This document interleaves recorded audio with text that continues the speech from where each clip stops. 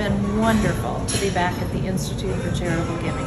I was here in the very early stages when Bill and Jerry decided to start this to help all of us who are helping our donors make a difference with their philanthropic dollars.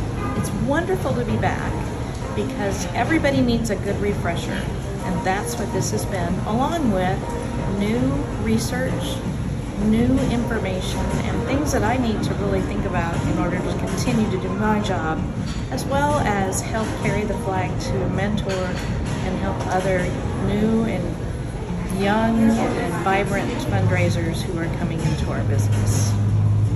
It's a joy to be here and the fundamentals that I have learned throughout my career started right here